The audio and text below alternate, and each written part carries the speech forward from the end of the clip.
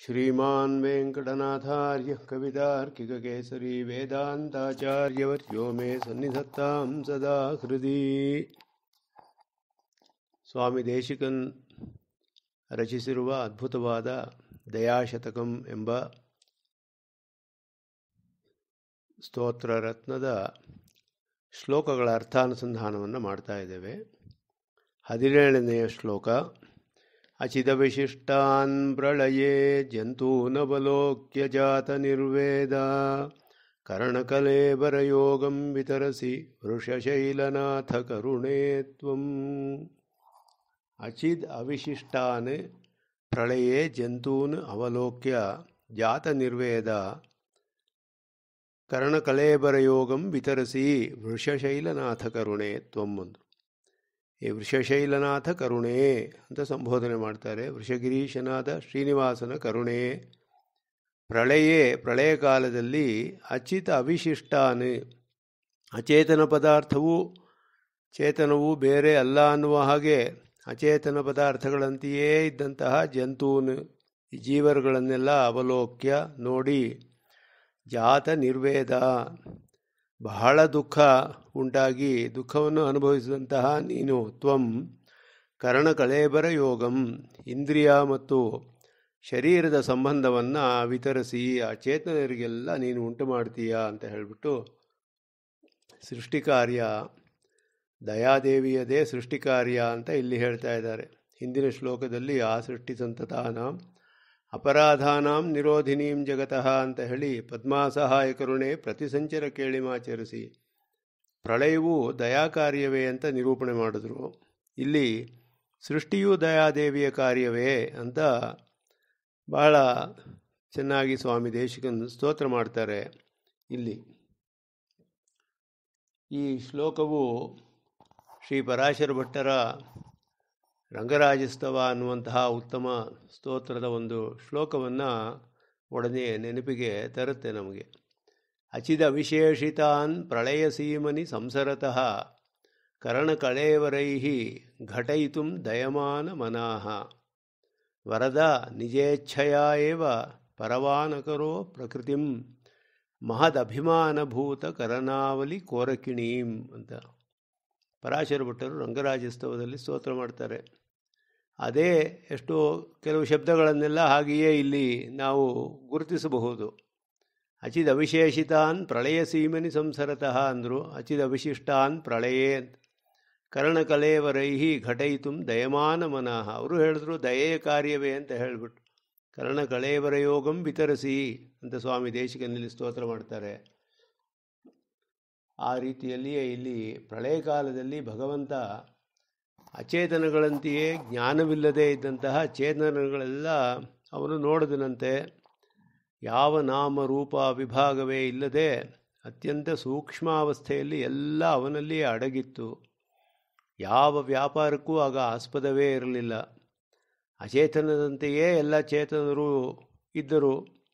ಯಾವ ಜ್ಞಾನವಿರಲಿಲ್ಲ, ಏನು ತಿಳಿಯುವಂತಹ ಸ್ಥಿತಿಯಲ್ಲಿರಲಿಲ್ಲ. ವ್ಯಾಪಾರವೇ ಇಲ್ಲದೆ ಇರುವಾಗ ಮೋಕ್ಷದ ಮಾತಿರಲಿ ತ್ರಿವರ್ಗ ಪುರುಷಾರ್ಥಗಳಾದ ಧರ್ಮಾರ್ಥ ಕಾಮಗಳೂ ಕೂಡ ಅವರಿಗೆ ಅಶಕ್ಯವಾಗಿತ್ತು. ಅಂತಹ ಅಸಹಾಯಕ ಸ್ಥಿತಿಯಲ್ಲಿ ಚೇತನರನ್ನು ನೋಡಿದ ಪರಮಾತ್ಮ, ಅಯ್ಯೋ ಅಂತ ಅವನಿಗೆ ಬಹಳ ದುಃಖವಾಯಿತಂತೆ. ಈ ಚೇತನರು ಅನಾದಿ ಕಾಲದಿಂದ ಹೀಗೆ ಸಂಸಾರ ಕಾಲದಲ್ಲಿ ಕಷ್ಟಪಡ್ತಾ ಇದ್ದಾರಲ್ಲ. ಇದನ್ನು ದಯಾದೇವಿಗೆ ಈ ವಿಧವಾದ ದುಃಖವಾಯಿತು ಅಂತ ಸ್ವಾಮಿ ಇಲ್ಲಿ ಸ್ತೋತ್ರ ಮಾಡ್ತಾರೆ. ಜಾತ ನಿರ್ವೇದ ಕರುಣೆ ಅಂತ ಹೇಳಿಬಿಟ್ಟು. ವಿಶೇಷೈಲ ನಾಥನನ್ನು ಆಶ್ರಯಿಸಿರುವ ಉತ್ತಮವಾದ ಗುಣ, ದಯಾಗುಣ.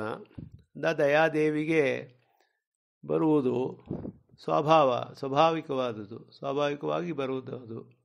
ಅದರಿಂದ ಬಹಳ ದುಃಖವಾಯಿತು ದಯಾದೇವಿಗೆ. ಆ ಅಸಹಾಯಕ ಸ್ಥಿತಿಯಲ್ಲಿ ಚೇತನಗಳನ್ನು ನೋಡಿ ಹೀಗೆ ಅನಾದಿ ಕಾಲದಿಂದ ಸಂಸಾರದಲ್ಲಿ ಕಷ್ಟಪಡ್ತಾ ಇದ್ದಾರಲ್ಲ ಹೀಗೆಯೇ ಇದ್ದರೆ ಇವರ ಉದ್ಧಾರ ಹೇಗೆ ಸಾಧ್ಯ ಅಂತ ಬಹಳ ಕರುಣೆಯಿಂದ ತನ್ನ ಆರಾಧನೆಗೆ ಸಾಧನವಾದ ಯಜ್ಞಗಳೇನು ಅವುಗಳನ್ನು ನಡೆಸಲು ಅವು ಏನೇನು ಬೇಕು ಎಲ್ಲ ಉಪಕರಣಗಳೇನು ಅದೆಲ್ಲ ಮತ್ತೆ ಅವರನ್ನು ಮತ್ತೆ ಎಲ್ಲ ಯಜ್ಞಗಳೊಡನೆ ಸೃಷ್ಟಿ ಮಾಡಿದ ಸಹ ಯಜ್ಞೈ ಪ್ರಜಾ ಸೃಷ್ಟ ಅಂತ ಹೇಳ್ತಾರೆ. ಹಾಗೆ ಪ್ರಳಯದಿಂದ ಸೃಷ್ಟಿಯಾಗುವುದು ಅಂತ ಹೇಳೋದು ಉಪನಿಷತ್ತುಗಳು ಹೀಗೆಯೇ ತಿಳಿಸುತ್ತೆ ನಮಗೆ. ಇಲ್ಲಿಯೂ ಅದೇ ರೀತಿಯಲ್ಲಿ ಸ್ವಾಮಿ ದೇಶಿಗನ್ ನಿರೂಪಣೆ ಮಾಡಿದ್ದಾರೆ. ಇದೆಲ್ಲ ದಯಾಕಾರ್ಯ ಅಂತ ಹೇಳಿಬಿಟ್ಟು ಬಹಳ ಸ್ವಾರಸ್ಯವಾಗಿ ಸ್ತೋತ್ರ ಮಾಡ್ತಾರೆ. ಅಚಿದ ವಿಶಿಷ್ಟಾನ್, ಅಚಿತ್ತಿಗೂ ಚೇತನರಿಗೂ ವ್ಯತ್ಯಾಸ ಇಲ್ಲದಂತೆ ಇದ್ದರಂತೆ ಪ್ರಳಯ ಕಾಲದಲ್ಲಿ. ಜೀವಾತ್ಮರು ಸ್ವಯಂ ಪ್ರಕಾಶರು. ನಿತ್ಯವಾದ ಜ್ಞಾನವನ್ನು ಹೊಂದಿರುವಂತಹವರು. ಆದರೂ ಕರ್ಮದಿಂದ ಅವರಿಗೆ ಧರ್ಮಭೂತ ಜ್ಞಾನವೆಲ್ಲ ಅತ್ಯಂತ ಸಂಕುಚಿತವಾಗಿಬಿಟ್ಟಿದೆ. ಅಚೇತನದಂತೆಯೇ ಆಗಿಬಿಟ್ಟಿದ್ದಾರೆ. ಮುಕ್ತರು ಬ್ರಹ್ಮನೊಡನೆ ಅವಿಭಾಗವಾಗಿ ಇರುವರು ಅಂತ ಶ್ರುತಿಗಳು ಹೇಳುತ್ತೆ. ಬ್ರಹ್ಮಸೂತ್ರಗಳು ಹಾಗೆಯೇ ತಿಳಿಸುತ್ತೆ ನಮಗೆ. ಆದ್ದರಿಂದ ಚೇತನರು ಬ್ರಹ್ಮನೊಡನೆ ಅವಿಭಾಗದಿಂದ ಇರುವುದನ್ನು ಬಯಸಬೇಕು. ಹೊರತು ಅಚಿತ್ತನೊಡನೆ ಅಲ್ಲ. ಇಲ್ಲಿ ಬಹಳ ಸ್ವಾರಸ್ಯವಾಗಿ ಸ್ವಾಮಿ ದೇಶಕನ ಹೇಳ್ತಾರೆ, ಅಚಿದ ವಿಶಿಷ್ಟ ಅನ್ನಂತ ಮೋಕ್ಷಕ್ಕೂ ಪ್ರಳಯಕ್ಕೂ ಇರುವ ಒಂದು ವೈಷಮ್ಯವನ್ನು ಸ್ವಾಮಿ ಇಲ್ಲಿ ತೋರಿಸ್ತಾರೆ. ಮೋಕ್ಷದಲ್ಲಿ ಭಗವಾನ್, ಭಗವಂತನ ಜೊತೆ ಅವಿಭಾಗೇನ ದೃಷ್ಟತ್ವಾತ್ ಅಂತ ಬ್ರಹ್ಮಸೂತ್ರದಲ್ಲಿ ಹೇಳಿದ್ರು. ಇಲ್ಲಿ ಅಚಿದ ವಿಶಿಷ್ಟಾನ್ ಅಚೇತನದೊಡನೆ ಸೇರಿಬಿಟ್ಟಿದ್ದಾರೆ. ಇದು ಅವನಿಗೆ ಸ್ವರೂಪದಲ್ಲಿ ಹೀಗೆ ಇರಬಾರದು, ಚೇತನರು. ಮೋಕ್ಷದಲ್ಲಿ ಹೋಗಿ ಭಗವಂತನೊಡನೆ ಅವಿಭಾಗವಾಗಿ ಇದ್ದು ಅಲ್ಲಿ ಅನುಭವಿಸಬೇಕು. ಇಲ್ಲಿ ಯಾವ ಅನುಭವವೇ ಇಲ್ಲ. ಅಲ್ಲಿ ಎಲ್ಲ ನಿರತಿಶಯವಾದ ಆನಂದ ಅನುಭವ ಅದು ಅವರಿಗೆ ಸ್ವಾಭಾವಿಕವಾದ ಸ್ಥಿತಿ. ಇದು ಬಹಳ ಶೋಚನೀಯವಾದ ಸ್ಥಿತಿ ಅಂತ ಇದರಿಂದ ತಿಳಿಯುತ್ತೆ ನಮಗೆ.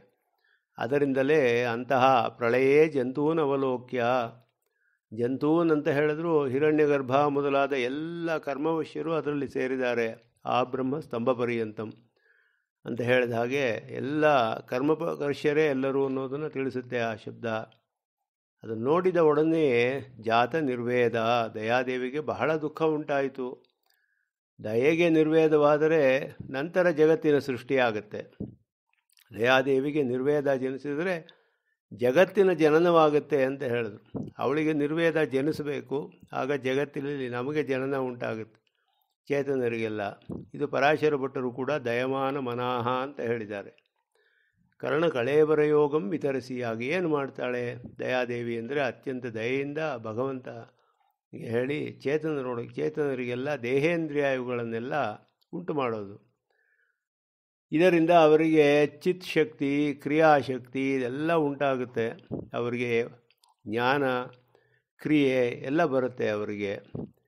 ಇಲ್ಲದೆ ಹೋದರೆ ಭಕ್ತಿನೋ, ಪ್ರಪತ್ತಿನೋ ಏನೂ ಸಾಧ್ಯವಾಗುವುದಿಲ್ಲವಲ್ಲ. ಆದ್ದರಿಂದ ಈ ದೇಹೇಂದ್ರಿಯಗಳ ಸಂಬಂಧ ಅಥವಾ ಯೋಗ ದಯೆಯಿಂದಲೇ ಕೊಡಲ್ಪಡುತ್ತೆ ಅಂತ ಇಲ್ಲಿ ಸ್ತೋತ್ರ ಮಾಡ್ತಾರೆ ಸ್ವಾಮಿ ಈ ಶ್ಲೋಕದಲ್ಲಿ.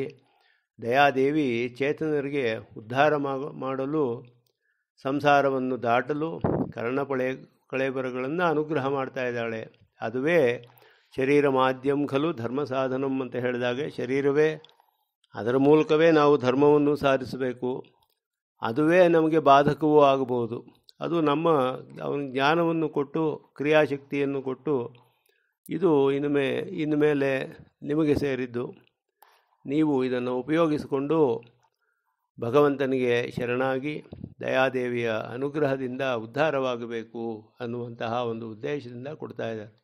ದಯಾದೇವಿ ಉಂಟು ಮಾಡ್ತಾಳೆ ಅಂತ.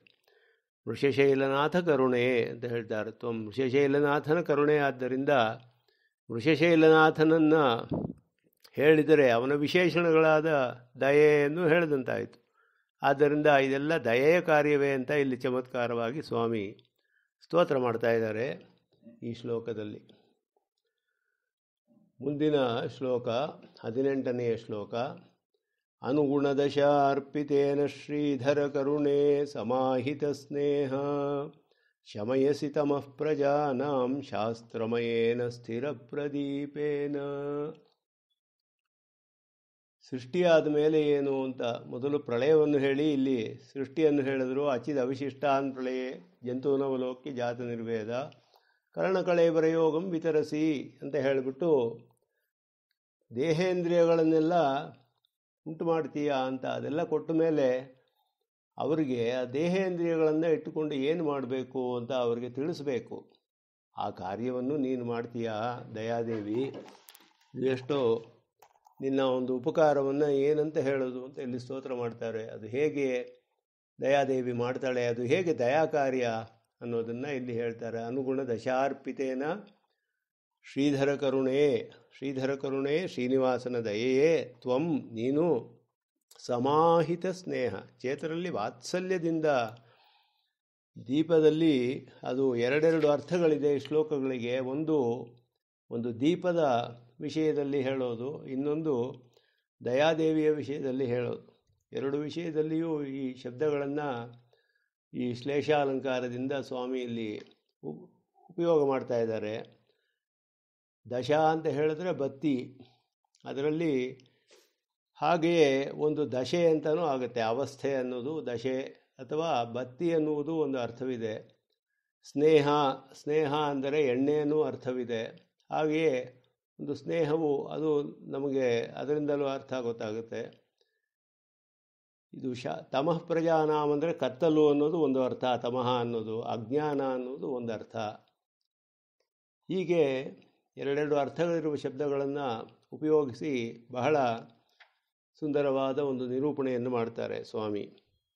ಆ ದೀಪದಲ್ಲಿ ಎಣ್ಣೆಯನ್ನು ಹಾಕಬೇಕು ನಾವು. ಸಮಾಹಿತ ಸ್ನೇಹ ಅಂದರೆ ದೀಪಕ್ಕೆ ಎಣ್ಣೆಯನ್ನು ಚೆನ್ನಾಗಿ ಸೇರಿಸಿ, ಅನುಗುಣ ದಶಾರ್ಪಿತೇನ ಒಳ್ಳೆಯ ದಶ ಅಂದರೆ ಒಂದೇ ಒಳ್ಳೆಯ ಬತ್ತಿ ಅನುಗುಣವಾಗಿರಬೇಕು. ಆ ಎಣ್ಣೆಗೆ ಅನುಗುಣವಾದ ಒಂದು ಬತ್ತಿಯನ್ನು ಅದರ ಮೇಲೆ ಇಟ್ಟು ಶಾಸ್ತ್ರಮಯೇನ ಸ್ಥಿರ ಪ್ರದೀಪೇನ ಸ್ಥಿರವಾದ ದೀಪವನ್ನು ಅಲ್ಲಿ ಹಚ್ಚಬೇಕು ಹಚ್ಚಿದ್ರೆ ಪ್ರಜಾನಾಂ ಜನ ತಮಃ ಶಮಯ ಕತ್ತಲೆಯೆಲ್ಲ ಹೋಗುತ್ತೆ ಅದು ದೀಪದಿಂದ. ಅದೇ ರೀತಿಯಲ್ಲಿ ದಯಾದೇವಿ ಏನು ಮಾಡ್ತಾಳೆ ಅಂದರೆ, ಸ್ನೇಹ ಅನ್ನುವುದು ಎಣ್ಣೆಯ ಥರ ಅದರ ಸ್ಥಾನದಲ್ಲಿ ವಾತ್ಸಲ್ಯ. ಅವಳು ಚೇತನರಲ್ಲಿ ವಾತ್ಸಲ್ಯವನ್ನು ತೋರಿ ಮತ್ತು ಆ ಅನುಗುಣ ದಶಾರ್ಪಿತೇನ ಅಂದರೆ ದಶೆ ಎಂದರೆ ಒಂದು ಕಾಲ, ಒಂದು ಅವಸ್ಥೆ, ಸತ್ವಗುಣ ಪ್ರಚುರವಾದ ಕಾಲದಲ್ಲಿ ಕೊಡಲಾಡಂಥದ್ದು ಸತ್ವಗುಣ ಪ್ರಚುರವಾದ ಕಾಲದಲ್ಲಿ ಕೊಟ್ಟಿರುವಂತಹ ಶಾಸ್ತ್ರಮಯೇನ ಸ್ಥಿರ ಪ್ರದೀಪೇನ. ಶಾಸ್ತ್ರರೂಪವಾದ ದೀಪ ಇದು, ಶಾಶ್ವತವಾದ ದೀಪ.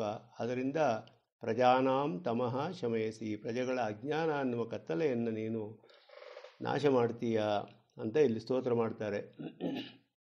ಇದು ಕೂಡ ಶ್ರೀ ಪರಾಶರ ಭಟ್ಟರ ಒಂದು ಶ್ಲೋಕವನ್ನು ನಮಗೆ ಮೊದಲ ಶ್ಲೋಕವೇ ಶ್ರೀರಂಗರಾಜ ಸ್ತವದಲ್ಲಿ ಉತ್ತಮ ಉತ್ತರ ಶತಕದಲ್ಲಿ, ಹರ್ತುಂ ತವ ತಮಸ್ಸದಸತಿ ಚ ವಿವೇಕ್ತುಮೀಶಃ ಮಾನಂ ಪ್ರದೀಪಮಿವ ಕಾರುಣಿಕೋ ದದಾತಿ ತೇನಾವಲೋಕ್ಯ ಕೃತಿನಃ ಪರಿಭುಂಜತೆ ತಂ ತತ್ರೈವ ಕೇಪಿ ಚಪಲಾಹ ಶಲಭೀ ಭವಂತಿ। ಅವರು ಹೇಳಿದ್ರು ನೋಡಿ, ಮಾನಂ ಪ್ರದೀಪಮಿವ ಕಾರುಣಿಕೋ ದದಾತಿ ಕರುಣೆಯಿಂದ ಕೂಡಿದವನು. ದಯಾದೇವಿಯ ಕಾರ್ಯವೇ ಇದು ಅನ್ನೋದು ಪರಾಶರ ಭಟ್ಟರು ಸ್ತೋತ್ರ ಮಾಡ್ತಾರೆ ಅದ್ಭುತವಾಗಿ. ಹರ್ತುಂ ತಮಃ. ತಮಸ್ಸನ್ನು ಅಪಹರಿಸಲು, ಅಜ್ಞಾನವನ್ನು ಹೋಗಿಸಲು ಸದ್ ಅಸತೀತ ವಿವೇಕ್ತುಂ. ಸತ್ ಸತು ಅಸತ್ ಯಾವುದು ಸರಿ, ಯಾವುದು ತಪ್ಪು ಎನ್ನುವ ವಿವೇಕವನ್ನು ಉಂಟು ಮಾಡಲು ಅವನು ಒಂದು ದೀಪದಂತೆ ಇರುವಂತಹ ಮಾನಂ ಪ್ರಮಾಣ. ಅದು ಶಾಸ್ತ್ರ ಪ್ರಮಾಣ, ಶಾಸ್ತ್ರವನ್ನು ಕಾರುಣಿಕೋ ದದಾತಿ, ಬಹಳ ಕರುಣೆಯಿಂದ ಕೊಡ್ತಾನೆ ಭಗವಂತ ಅಂತ ಹೇಳಿ ಅದನ್ನು ನೋಡಿ ಎಲ್ಲ ಅವನ್ನು ಪಡೆದುಕೊಳ್ಳಬಹುದು. ಇಲ್ಲ ಅದನ್ನು ಸರಿಯಾಗಿ ಉಪಯೋಗಿಸದೆ ಹೋದರೆ ಆ ಬೆಂಕಿ ಹುಳು ಹೇಗೆ, ಬೆಂಕಿಯಲ್ಲೇ ಬಿದ್ದು ಸಾಯುವ ಹಾಗೆ ಅದರಲ್ಲಿಯೇ ನಾಶವಾಗಿಬಿಡ್ತಾರೆ ಅಂತ ಹೇಳ್ತಾರೆ ಪರಾಶರ ಭಟ್ಟರು ಆ ರೀತಿ ಇಲ್ಲಿ ಅನುಗುಣ ದಶಾರ್ಪಿತೇನ ಶ್ರೀಧರ ಕರುಣೆ ಸಮಾಹಿತ ಸ್ನೇಹ ಸ್ವಾಮಿ ಸ್ತೋತ್ರ ಮಾಡ್ತಾರೆ ಇಲ್ಲಿ. ಜಗತ್ತಿನ ಪ್ರಲಯ ಸೃಷ್ಟಿ ವಿಷಯವನ್ನೆಲ್ಲ ಹೇಳಿ ಜಗತ್ತಿನ ಪಾಲನೆ ಹೇಗೆ ನಡೆಯೋದು ಅನ್ನು ತಿಳಿಸ್ಬೇಕು. ಸ್ಥಿ, ಸೃಷ್ಟಿ, ಸ್ಥಿತಿ, ಲಯ ಇದು ಮೂರು ಎಲ್ಲ ಜಗತ್ಕಾರಣತ್ವದ ಒಂದು ಲಕ್ಷಣಗಳು.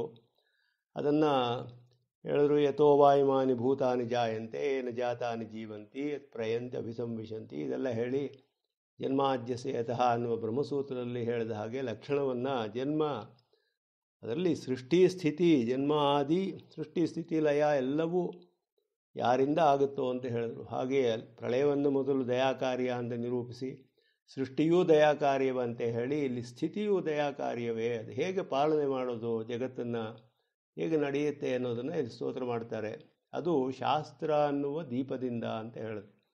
ಇಲ್ಲದೆ ಹೋದರೆ, ಆ ಶಾಸ್ತ್ರವಿಲ್ಲದೆ ಹೋದರೆ ಪ್ರಪಂಚವೆಲ್ಲ ಗಾಢವಾದ ಕತ್ತಲೆಯಲ್ಲಿ ಮುಳುಗ್ತಾ ಇತ್ತು.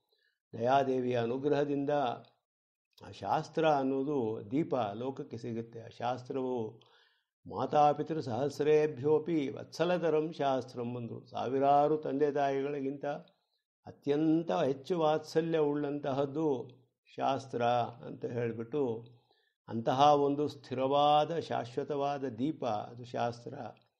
ಅದನ್ನು ಪರಾಶರ ಭಟ್ಟರು ಹೇಳಿದಾಗೆ ಕಾರುಣಿಕೋ ದದಾತಿ ಅಂತ ಇಲ್ಲಿ ಅದು ಮೊದಲೇ ಉಪಕಾರ ನಮಗೆ.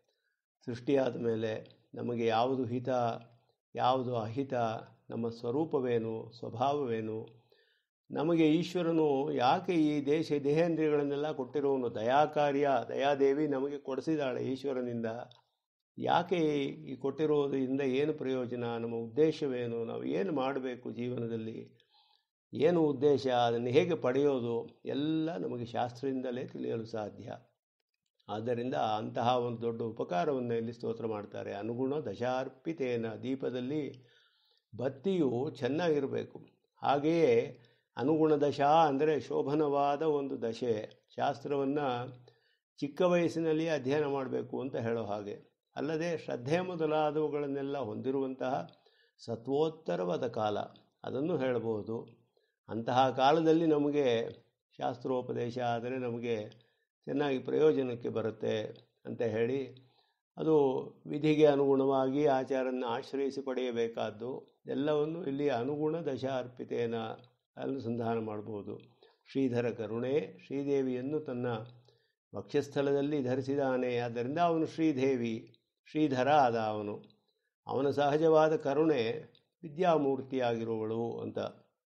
ಸಮಾಹಿತ ಸ್ನೇಹ ಸ್ನೇಹ ಅಂದರೆ ಎಣ್ಣೆ ದೀಪಕ್ಕೆ ಪೂರ್ಣವಾಗಿ ಎಣ್ಣೆ ಹಾಕುವ ಹಾಗೆ ಅಥವಾ ಸ್ನೇಹಪೂರ್ವಕವಾಗಿ ಇಲ್ಲಿ ಅತ್ಯಂತ ಕೃಪೆಯಿಂದ ನಿಸ್ಪೃಹರಾಗಿ ಉಪದೇಶಿಸಿರುವ ಆಚಾರ್ಯರು ಅನ್ನುವುದನ್ನು ಹೇಳ್ಬೋದು ಇಲ್ಲಿ ಅಂತಹ ದಯಾದೇವಿ ಹಾಗೆ ನಮಗೆ ಬಹಳ ನಿಸ್ಪೃಹಳಾಗಿ ಇದನ್ನು ಶಾಸ್ತ್ರವನ್ನು ಕೊಡ್ತಾಳೆ ಅಂತ ಹೇಳಿ, ಅದರಿಂದ ಶಮಯಿಸಿ ತಮಃ ಪ್ರಜಾನಾಂ. ಪ್ರಜೆಗಳು ಪ್ರಜಾನಾಂ ಎಂಬುದೇ ವಾತ್ಸಲ್ಯವನ್ನು ಸೂಚಿಸುತ್ತೆ ಇಲ್ಲ, ಅದರಿಂದ ಎಲ್ಲ ಕತ್ತಲೆಯನ್ನು ಅಂದರೆ ಅಜ್ಞಾನವನ್ನು ಕಳೀತೀಯ ನೀನು? ಕತ್ತಲೆಯಲ್ಲಿ ದಾರಿ ಕಾಣದೇ ಇರುವಂತಹ ದಾರಿ ಹೋಕರು ಪಥಿಕರಿರ್ತಾರೆ ಅವರಿಗೆ ದೀಪ ಮಾರ್ಗದರ್ಶನವನ್ನು ಮಾಡುತ್ತೆ, ತೋರಿಸುತ್ತೆ ನಮಗೆ ಬೆಳಕನ್ನು ಕೊಟ್ಟು. ಹಾಗೆಯೇ ಅಜ್ಞಾನ ಅನ್ನುವ ಕತ್ತಲೆಯಲ್ಲಿ ನಾವು ತೊಳಲ್ತಾ ಇದ್ದೀವಿ, ಬಿದ್ದು ಕಷ್ಟಪಡ್ತಾ ಇದ್ದೀವಿ, ಅಂತಹ ಚೇತನರಿಗೆ ಕೃತ್ಯಾಕೃತ್ಯ ವಿವೇಕ, ಯಾವುದು ಮಾಡಬೇಕು, ಯಾವುದು ಮಾಡಬಾರ್ದು ಅನ್ನುವಂತಹ ಆ ವಿವೇಕ ಜ್ಞಾನವನ್ನು ಅನ್ನುವಂತಹ ಬೆಳಕನ್ನು ಶಾಸ್ತ್ರ ನಮಗೆ ಉಂಟು ಮಾಡುತ್ತೆ. ತಮಸ್ಸು ಅಂದರೆ ಅಜ್ಞಾಯ, ಅಜ್ಞಾನ, ಸಂಶಯ, ವಿಪರ್ಯಯ, ಇದೆಲ್ಲ ತಮಸ್ಸು. ಅದು ಅದನ್ನು ಕಳೆಯುವುದು ಈ ಬೆಳಕಿಂದ, ಶಾಸ್ತ್ರದಿಂದ. ಅದು ಯಾರಿಂದ ಅದನ್ನು ಈ ಉಪಕಾರ ನಮಗೆ ಅಂದರೆ ದಯೆಯ ಕಾರ್ಯವೇ ಅಂತ ಇಲ್ಲಿ ಸ್ತೋತ್ರ ಮಾಡ್ತಾರೆ. ಹೇಗೆ ಅಂದರೆ ಅದು ಹೇಗೆ ದಯಾ ಕಾರ್ಯ ಅನ್ನೋದು ಬಹಳ ಚಮತ್ಕಾರವಾಗಿ ಅದು ಹೇಗೆ ತಂದೆ ತಾಯಿಗಳು ಮಕ್ಕಳಿಗೆ ಪಾಠ ಹೇಳಿಕೊಡೋಕ್ಕೆ ಒಂದು ಫೀಸ್ ತಗೊಳ್ಳೋದಿಲ್ಲ ಅದು ಕೇವಲ ಕರುಣೆಯಿಂದ ಆಗುವಂಥ ಕೆಲಸ. ಬಹಳ ಕೃಪೆಯಿಂದಲೇ ಯಾವ ಒಂದು ಪ್ರತ್ಯುಪಕಾರವನ್ನು, ಒಂದು ಇದನ್ನು ಏನು ಅವರು ಬಯಸದೆ ಕರುಣೆಯಿಂದ ಹೇಳಿಕೊಡೋ ಹಾಗೆ ಇಲ್ಲಿ ದಯಾದೇವಿ ನಮಗೆ ಬಹಳ ಕೃಪೆಯಿಂದ ಶಾಸ್ತ್ರವನ್ನು ಕೊಡ್ತಾ ಇರೋದ್ರಿಂದ ಇದು ದಯಾಕಾರಿ ಆಯಿತು ಆವಾಗ ಅದು ದಯೆಯಿಂದ, ದಯೆಯ ಒಂದು ಸಹಾಯದಿಂದಲೇ ಇದು ಸಾಧ್ಯ. ಅಂತ ಶಾಸ್ತ್ರಮಯೇನ ಸ್ಥಿರಪ್ರದೀಪೇನ. ಅದು ಏನು ಅಂದರೆ ಯಾವ ಬಿರುಗಾಳಿಗೂ ಅಲ್ಲಾಡದಂತಹ ಸ್ಥಿರವಾದ ದೀಪ ಅದಕ್ಕೆ ಶಾಸ್ತ್ರವನ್ನು ಇಲ್ಲಿ ಹೋಲಿಸಿದ್ದಾರೆ. ಸ್ಥಿರಪ್ರದೀಪ ಅಂತ ಹೇಳಿಬಿಟ್ಟು ಅದು ನಂದಾವಿಳಕ್ಕು ಒಂದು ಸ್ವಲ್ಪ ಕೂಡ ಅದು ನೇಂಗತೆ ಅಂತ ಹೇಳೋ ಹಾಗೆ ದಾ ದೀಪ ದಾ ದೀಪ ನೇಂಗತೆ ಅಂತ ಹೇಳೋ ಹಾಗೆ ಒಂದು ಸ್ವಲ್ಪನೂ ಅಲ್ಲಾಡದೇ ಇರೋ ಹಾಗಿದೆಯಂತೆ ಸ್ಥಿರವಾಗಿ ಶಾಸ್ತ್ರಮಯ ಅನ್ನುವ ಶಬ್ದ ಶಾಸ್ತ್ರದ ಪ್ರಾಚುರ್ಯವನ್ನು ತಿಳಿಸುತ್ತೆ.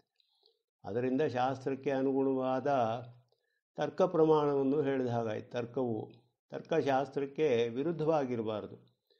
ವೇದ ಮಾರ್ಗಕ್ಕೆ ವಿರುದ್ಧವಲ್ಲದ ತರ್ಕದಿಂದ ಯಾರು ವೇದಾರ್ಥಗಳನ್ನು ತಿಳಿತಾರೋ ಅವರಿಗೆ ಮಾತ್ರವೇ ಧರ್ಮದ ಸೂಕ್ಷ್ಮಗಳೆಲ್ಲ ತಿಳಿಯುತ್ತೆ ಅಂತ ಹೇಳ್ತಾರೆ. ಹಾಗೆ ಆ ತರ್ಕವೂ ಸಹ ಸ್ಥಿರವಾದದ್ದು ಅಂತ ಸ್ವಾಮಿ ದೇಶಕನ್ ಸೂಚಿಸ್ತಾರೆ. ಏಕೆಂದರೆ ಅದು ಸತ್ತರ್ಕ. ಬರಿಯ ತರ್ಕ ದುಸ್ತರ್ಕವಾದರೆ ಪ್ರತಿಷ್ಠೆ ಇರುವುದಿಲ್ಲ ಅದಕ್ಕೆ. ಆದ್ದರಿಂದ ಸ್ಥಿರವಾದ ಶಾಸ್ತ್ರಮಯ ಅನ್ನುವುದರಿಂದ ಶಾಸ್ತ್ರ ಪ್ರಾಚುರ್ಯ, ಅದನ್ನು ಕೂಡ ಇಲ್ಲಿ ನಾವು ಅನುಸಂಧಾನ ಮಾಡ್ಬೋದು. ಇದನ್ನು ಪರ, ಪರಾಶರ ಭಟ್ಟರು ಹರ್ತುಂ ತಮ ಸರಸ್ವತಿ ಚ ವಿವೇಕ್ತುಂ ಈಶಃ ಮಾನಂ ಪ್ರದೀಪಮಿವ ಕಾರಣಿಕೋ ದದಾತಿ ಅಂತ ಹೇಳಿದ್ದು. ಶ್ರುತಿಯು ಹಾಗೆಯೇ ಹೇಳುತ್ತೆ, ಯೋ ಬ್ರಹ್ಮಾಣಂ ವಿದಧಾತಿ ಪೂರ್ವಂ, ಯೋ ವೈ ವೇದಾಂಶ ಪ್ರಹಿಣೋತಿ ತಸ್ಮೈ. ಅಂತ ಚತುರ್ಮುಖನನ್ನು ಸೃಷ್ಟಿಸಿ ಅವನಿಗೆ ವೇದಗಳನ್ನು ಕೊಟ್ಟ ಪರಮಾತ್ಮ, ಆ ವೇದವೆಂಬ ಶಾಸ್ತ್ರದಿಂದಲೇ ನಾವು ಭಗವಂತನ ಶಾಸನವನ್ನು ತಿಳಿಯಬಹುದು.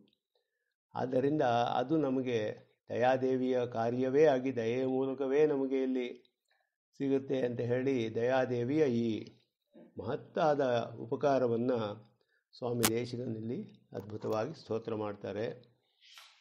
ಅನುಗುಣದಶಾರ್ಪಿತೇನ ಶ್ರೀಧರ ಕರುಣೆ ಸಮಾಹಿತ ಸ್ನೇಹ ಶಮಯಸಿ ತಮಃ ಪ್ರಜಾನಾಂ ಶಾಸ್ತ್ರಮಯೇನ ಸ್ಥಿರ ಪ್ರದೀಪೇನ ಇನ್ನು ಮುಂದಿನ ಎರಡು ಶ್ಲೋಕಗಳನ್ನು ಮುಂದಿನ ಶೀರ್ಷಿಕೆಯಲ್ಲಿ ಅನುಸಂಧಾನ ಮಾಡೋಣ. ಕವಿತಾರ್ಕಿಕ ಸಿಂಹಾಯ ಕಲ್ಯಾಣ ಗುಣಶಾಲಿನಿ ಶ್ರೀಮತೆ ವೆಂಕಟೇಶಾಯ ವೇದಾಂತ ಗುರವೇ ನಮಃ. ಶ್ರೀಮತೆ ನಿಗಮಾಂತ ಮಹಾದೇಶಿಕಾಯ